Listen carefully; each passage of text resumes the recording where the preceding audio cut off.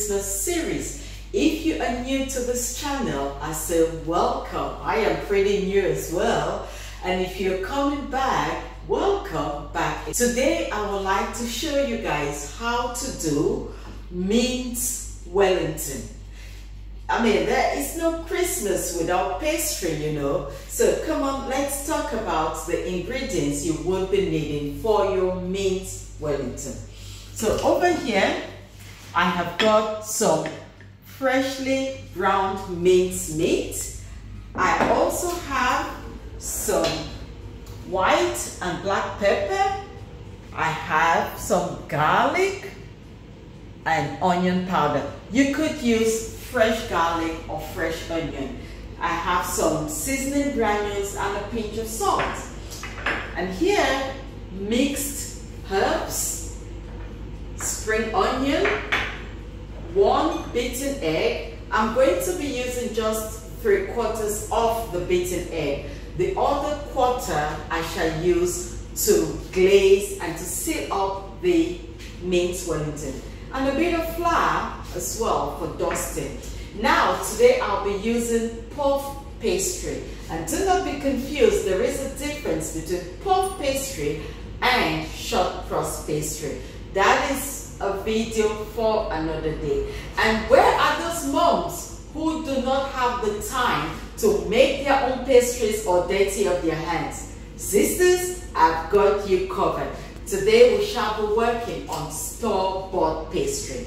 And you know, so the only thing you have to really worry about now is your filling. The next thing I'm gonna do is to put in my seasoning in the meat and then mix it all up. Now, you could add some vegetables into your meat, some carrots, maybe potatoes, uh, but I decided to do it plain. You know, sometimes you do have some kids who can be very fussy. They do eat carrots and, you know, other veggies, but they just don't like it in the mince Wellington. So I've left it plain. And when I mix it up, I will then transfer it into my pastry that will be well rolled out.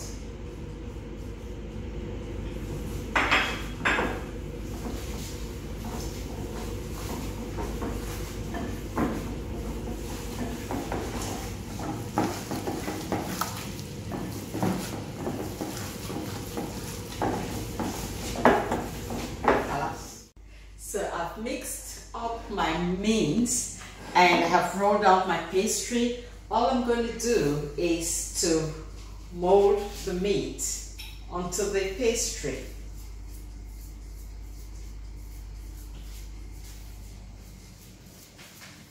And I'll bring the sides together. I cook the meat.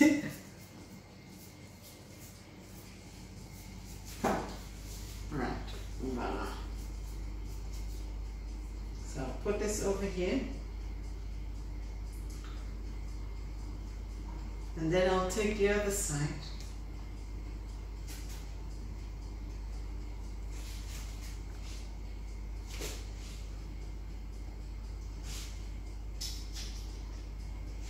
And you're gonna cut off the excess. And you'll see what I'm going to do with this excess. I would do a little blanket for our Wellington.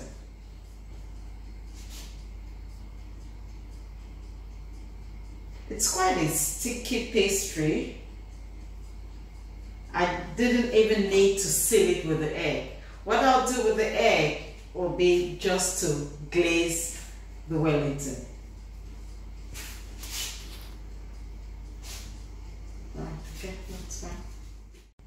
So now what I'm going to do, I will transfer this onto a grease-proof tray. And you have to be a bit dexterous here. It can be tricky. So I'll use this and fold it over. And there you go. Place it nicely. And I'm going to do a little blanket with this. I'll see you in a bit. And so with the excess pastry, you can do very many things. You could decide to cut out little Christmas trees within the Christmas, you know.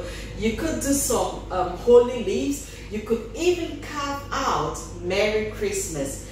But with my little gadget, I will do something I think is better. I just love things looking nice and decorative. So I use it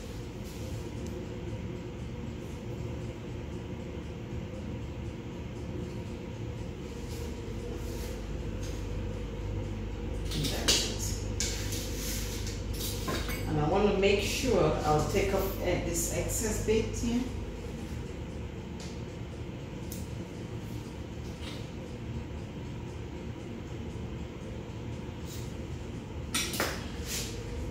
I'm just trying to see.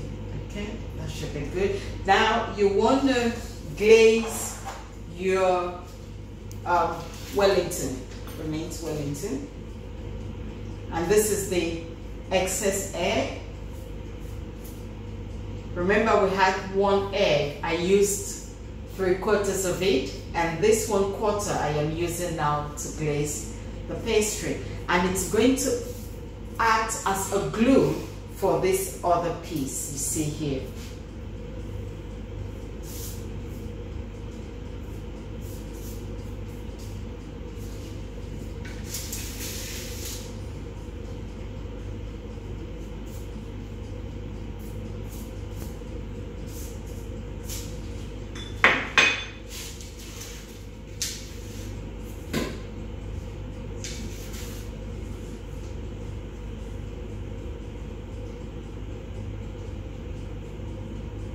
So I'm trying to open it up.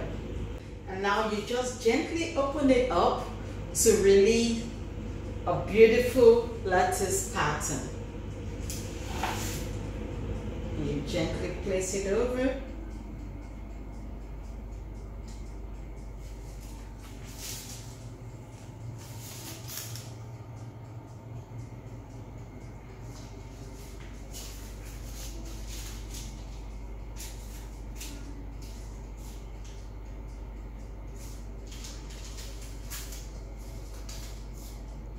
So the more you spread it out, the more beautiful the pattern is revealed.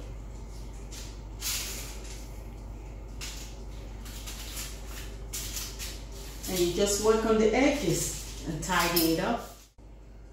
Now have to glaze this lovely pattern and after that we'll put it in the oven, a preheated oven for about 30 minutes and then cover it up in foil and let it cook for another 30 minutes. The thing is, you must remember that we've got raw meat in there and you don't want the pastry to go brown before the meat is actually cooked. So give it 30 minutes and then you wrap it up for another 30 minutes. So here you go guys, our end product now. Beautiful minced Wellington. I'm sure your guests will be craving for more. Um, I left this in the oven for exactly 1 hour 25 minutes. So you want to really pay attention to the time and of course it depends on the heat of your oven. Now I'm sure you will be dying to see what it looks like inside. Why don't you come closer?